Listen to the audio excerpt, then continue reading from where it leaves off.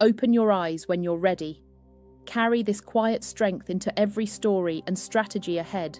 Maria is 21, with storm grey eyes and an auburn braid that drapes over her shoulder like a banner of resilience.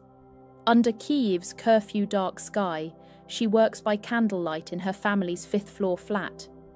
Each siren becomes the metronome to her typing, each power cut a reminder that hope often lives in the unexpected glow of a laptop screen.